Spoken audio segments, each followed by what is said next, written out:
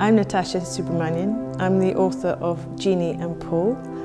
I live in Brussels, although I was born in London to uh, parents who are both of Mauritian origin.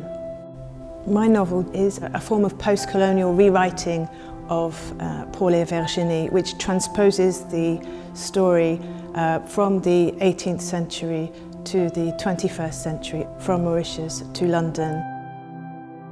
Paul spent a lot of time in the garden playing alone. And then one day he was called into the house. Mum was cradling a baby. Virginie, Mum said, like the girl in the story, Paul et Virginie. I guess I first encountered the story of Paul et Virginie through the engravings in the copy of the book that my mother had. It was uh, a very significant text for me and had um, mythological uh, connotations responding to what might be called a, a myth of origin for my Mauritian identity.